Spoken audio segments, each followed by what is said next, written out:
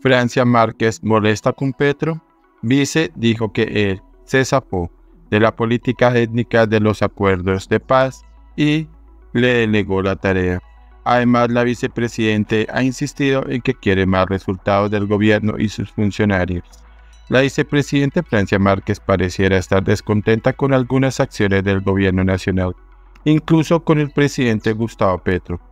Al menos así lo interpretó más de un asistente a la segunda jornada del Pacto por la implementación del capítulo étnico en el marco del séptimo aniversario de la firma del Acuerdo de Paz con las FARC un evento organizado en Bogotá y que contó además con la presencia del ministro del Interior, Luis Fernando Velasco. En medio de su discurso, Márquez contó que el presidente le asignó a ella la responsabilidad del cumplimiento de dicho capítulo, y mientras entregaba los resultados poco favorables, según manifestó la funcionaria, lanzó una frase que dejó a más de uno pensando.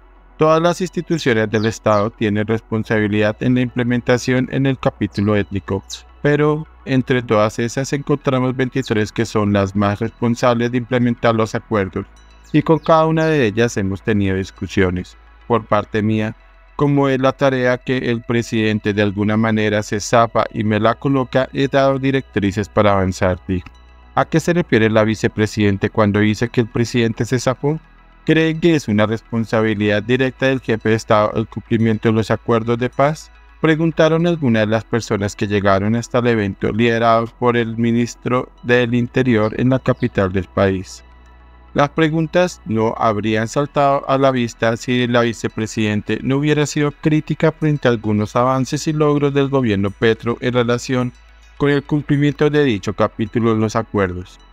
No vine a decir mentiras, no hay mayores avances, incluso de nuestro gobierno en la implementación del capítulo étnico para la paz. No estoy contenta, afirmó en el evento. Quiero ver a comunidades reparadas de manera concreta. A veces uno se llena de desesperanza porque vengo de comunidades y no aguanto quedarme callada o esperando. Quiero ver resultados reales, expresó. Al final la vicepresidenta reconoció, no estoy contenta con los avances del capítulo étnico, lo digo como vicepresidente. Espero más de mi gobierno. Espero más de cada uno de los funcionarios, sobre todo de las entidades que tienen responsabilidades concretas. Si me toca ser el patito feo, lo sigo siendo, concluyó. ¿Crees en la insatisfacción?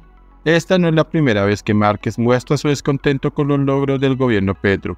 El 10 de noviembre de 2023, días después de las elecciones regionales, donde el pacto histórico resultó derrotado en las urnas, la vicepresidenta reflexionó en medio del acto protocolario donde recibió el doctorado honoris causa que le confirió la Universidad Pedagógica de Bogotá. Dijo de manera directa que siente angustias por no ver rápido los cambios que prometió el gobierno del llamado cambio. Pueden estar seguros que aunque a veces siento angustias porque no veo cambios rápidos en nuestro gobierno, como no los ven rápidos ustedes, tenemos el corazón bien puesto, sostuvo. Y añadió en su discurso, lo tiene bien puesto nuestro presidente Gustavo Petro, que todo el tiempo está liderando acciones para la justicia social. Por supuesto, tengo el corazón bien puesto como vicepresidente de Colombia y seguiré desde este lugar contribuyendo al cambio necesario que este país requiere y necesita, recalcó.